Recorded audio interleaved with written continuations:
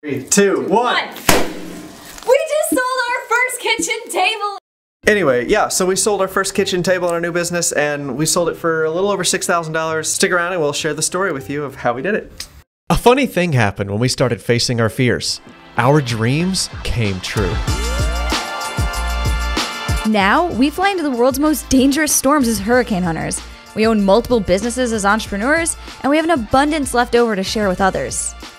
We have just one lesson to share don't follow your passion, follow your fears and conquer them with your passion. That's how you achieve big goals. So if you're subscribed to our channel, you'll know that the last year our focus was on getting known within Houston. We've sold a lot of cutting and charcuterie boards despite our business's name as a table company. But it's time we finally start developing our building and production process for kitchen tables because We just sold our first kitchen table in our business! Woo! So this week started just like every other. Davis was building some charcuterie boards because we were starting to get pretty low. All right, so today Jennie's back and she is catching up on sales calls, trying to make the money. So while she's doing that, I've got to do board fulfillments. We got one from a friend of ours and we got one from a mortgage broker requesting a board. So let's get at it. All right, one is a sunset cutting board and the other is just a cutting board that didn't specify. So think we'll choose a sunrise board. So the sunrise boards are mostly hard maple with uh, some cherry accents, and the sunset boards are mostly cherry with maple accents. See the difference? My favorite's the sunset. I like the, the dark cherry more than the maple. What's your favorite? Would you rather have a sunset board or a sunrise board? Let me know in the comments.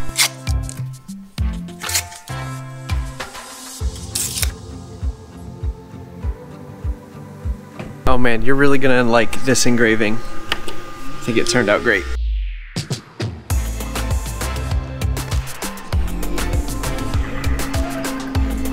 I like it. I like it. It's a special heart shape engraving for our Valentine's Day boards and one of Jennie's friends saw it and just had to have one, so that's why we did that.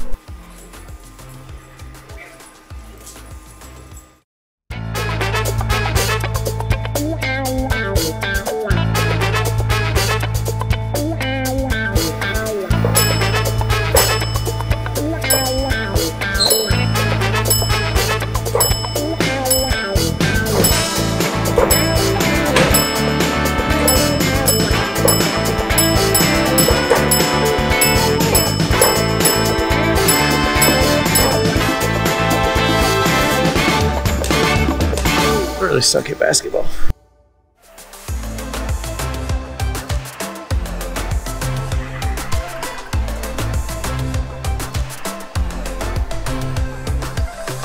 Man, I love this. This is so much fun. I love these boards. I love both of them. I'm super excited about the families that are going to get to get them and use them and display them, and uh, it just makes my heart happy.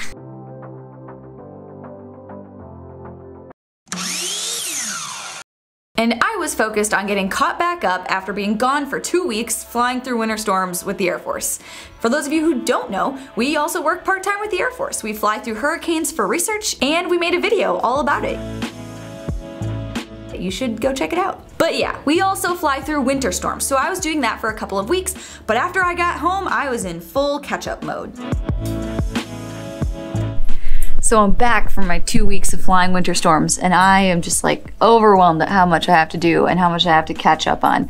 Um, I did a really good job of making like enough business content uh, before I left, but now I'm like I'm fresh out. I gotta start all over again. I'm also just getting caught up with some leads, making lots of phone calls, sending some follow-up emails, all that sort of stuff. And it's crazy. I had yet another realtor thank me for calling them for like the eighth time, which I think is nuts.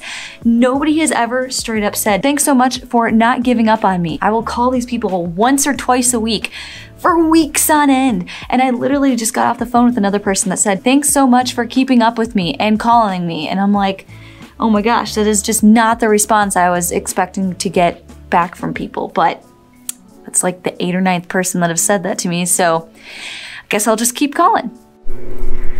Am I reheating my coffee that I made this morning? Yes. Yes, I am.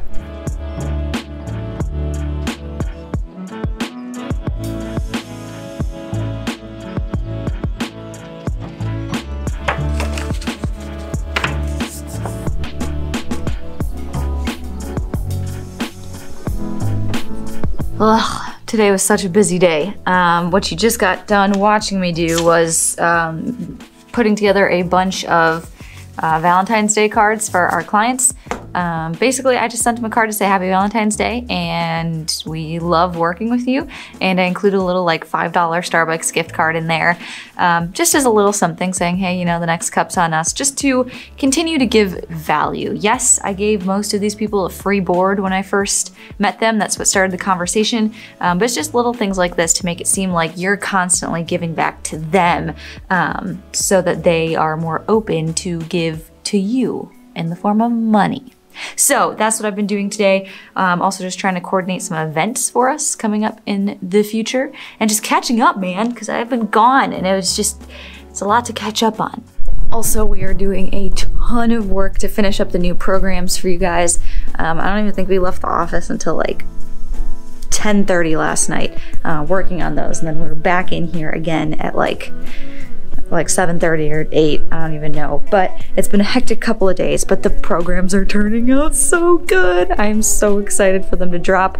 Um, we've had a lot of fun and i think you guys are really gonna enjoy it. But then, out of nowhere, we got a phone call from a local friend here in Houston, and he and his wife hate their kitchen table.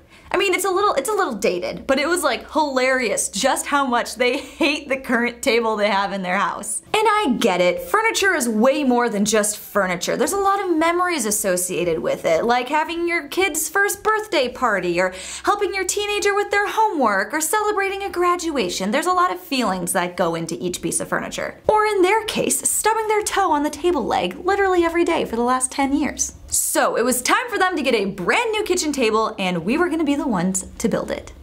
So it was a little nerve wracking to hear that he wanted a kitchen table because we've been in board production mode for so long and going so hard at it that sometimes we forget that the cutting boards are just a means to market to people to build more kitchen tables. I mean, that's been the evil mastermind plan behind all of this all along. It just feels weird that it's actually happening, that we're actually like shifting into the next phase. It's also kind of jarring because we've been laser focused on revamping all of our new sales programs. Because at this point, we've built two different businesses in two different parts of the country, building two completely different product types, and we want to put that all in one program so we can share it with you guys. We believe if you follow a simple formula, anybody can start and run their own business out of their basement. We've done it twice now. And the second time, it was so successful, we ended up in a big warehouse. Introducing My Basement Business. My Basement Business is an all-in-one program to teach a total beginner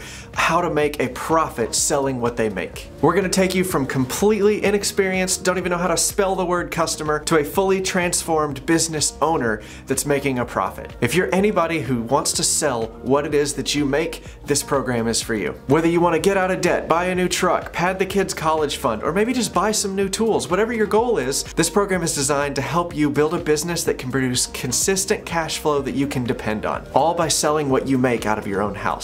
We're launching My Basement Business on sale temporarily for you guys, our loyal viewers, so that you can get it cheaper than everybody else. So don't wait around, otherwise you're gonna get everybody else's price. Alright, enough of the sales pitch. The link is below the like button in the description. It's also in the pinned comment to this video. Or you can just head to mybasementbusiness.com. So back to the kitchen table. We drew up a design, we got approval, we got a down payment, and we started on Samara Table Company's first official kitchen table sale. Okay, so we're a little rushed. We gotta order the lumber for this table like right now. So hopefully they have plenty available, which they should because they always do. But I've literally got to call them like ASAP. So let's do that. Hi there, uh, I just need to place an order for some white oak. Uh, we're gonna need 150 board feet, uh, 8 quarter, and then uh, minimum 10 foot length. Yep, random width is fine, uh, just rough cut. um, that's gonna be it.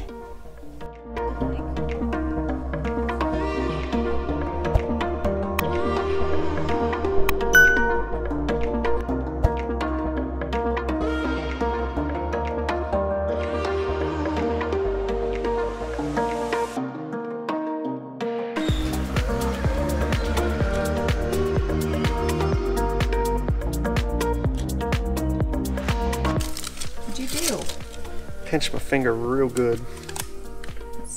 Not even on the wood. I was putting the truck bed back together. the easiest part is where I hurt myself. All right, wanted to show you something. Uh, a lot of this lumber has cracks all through it. If you watch the Stumpy Nubs video where we were featured, you know that that's called case hardening. Um, uh, some of these boards I can't show you right now, but they've got cracks all through the entire bottom. This whole piece of wood is punky, all rotted away. But you gotta buy extra. This is why we don't share our source of where we get lumber, because I don't want to put these guys on blast. Like, it's not their fault. It's the kiln that they buy the lumber from, because white oak is expensive right now, and mm-hmm. they're just cranking through as much as they can to try and appease the demand. So we just have to buy extra and, and move on. And it's just nice that we're not having to buy materials. It's the it's the customer buying the materials. so can't get upset. We just gotta buy extra. And yeah, it's wasteful, but that's just the state of how things are right now. That's why you price high so that you can afford to buy extra. customer wants white oak, so that's what we got to do to give him white oak. But anyway, this is what $1,300 of white oak looks like at this this state in 2022 in Houston. So They were like shocked when I ordered it on the phone. They're like, you know, that's gonna be like fifteen hundred dollars of wood, right? And I'm like, I'm not paying for yeah, it. I'm not paying for it. Like, load her up. But yeah, this pile of sticks is going to turn into a beautiful kitchen table. So um, I bought about 30% extra in case we make a boo-boo or like you saw, we have cracks and splits and some waste. They want a nine foot long kitchen table. They got a lot of family. They want to be able to sit everybody at the table and uh, this is what it's going to take to do it. So this is what the kitchen table is gonna look like. We drew this up in a program called SketchUp, which is really nice because it's always good to give like non-builders or non-furniture makers an idea of what the final product is gonna look like because sometimes they have a hard time seeing it in their mind's eye and just visualizing it on their own.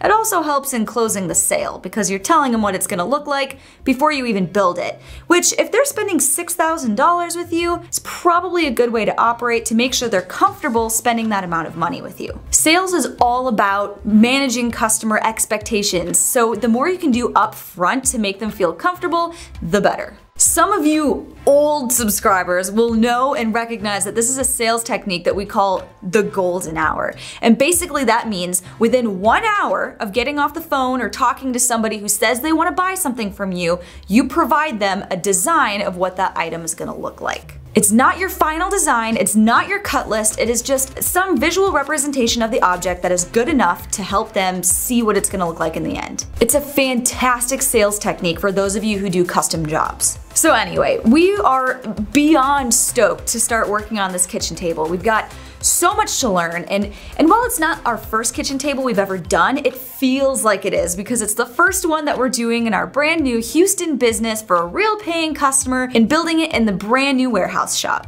Man, it just feels so great to finally be selling large furniture pieces again. If you've sold your work before, you know that feeling. And if you don't know what that feels like, but you want to, you want to sell your work and, and to experience that feeling for yourself, anybody can do it. Check out our new program, My Basement Business, and we'll teach you all about how to start a maker business from your own home and start making a profit fast. We'll see you in there.